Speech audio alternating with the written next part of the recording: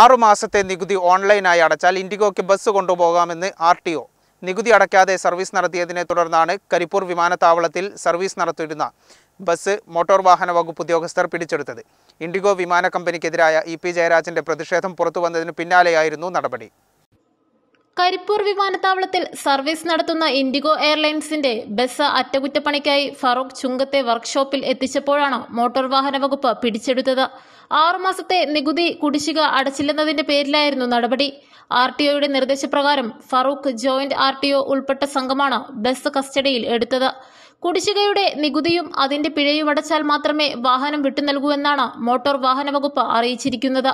പിഴയും നികുതിയും ഉൾപ്പെടെ നാൽപ്പതിനായിരത്തോളം രൂപയാണ് ഇൻഡിഗോ അടക്കേണ്ടത് ഇൻഡിഗോ വിമാന കമ്പനിക്കെതിരെ L D F convener E P ജയരാജന്റെ പ്രതിഷേധം പുറത്തുവന്നതിന് പിറകെയുണ്ടായ നടപടി ചർച്ചകൾക്കും വഴിവെച്ചു. എന്നാൽ ഇപ്പോഴത്തെ നടപടി തികച്ചും സാങ്കേതികമാണെന്നാണ് മോട്ടോർ വാഹന വകുപ്പ് ഉദ്യോഗസ്ഥരുടെ പ്രതികരണം. അതിന്റെ നികുതി പരിശോധിച്ചപ്പോഴത്തേക്കും നികുതി ഒമ്പത് മാസം മൂന്ന് കോടി മുപ്പത്തൊന്ന് മൂന്ന് മുപ്പത് ആറ് അത് ദയവീത് ഇതുമായിട്ട് ക്ലബ് ചെയ്യുന്നത് രണ്ടും രണ്ട് ഇഷ്യൂ ഈ എൻഫോഴ്സ്മെന്റ് തുടങ്ങുന്നുണ്ട് അങ്ങനെയാണ് അതിങ്ങനെ അതിശയമായിട്ടുണ്ടാവും യൂറോപ്പിൽ ചുറ്റി നടക്കുന്നത് സംഭവം എയർപോർട്ടിനകത്ത് മാത്രം സർവീസ് നടത്തുന്ന വാഹനമാണ് അപ്പോൾ നമ്മളങ്ങനെ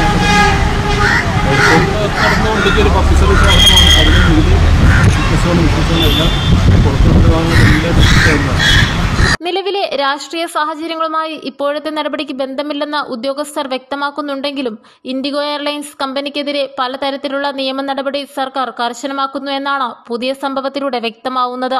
കേരള വിഷൻ കോഴിക്കോട്.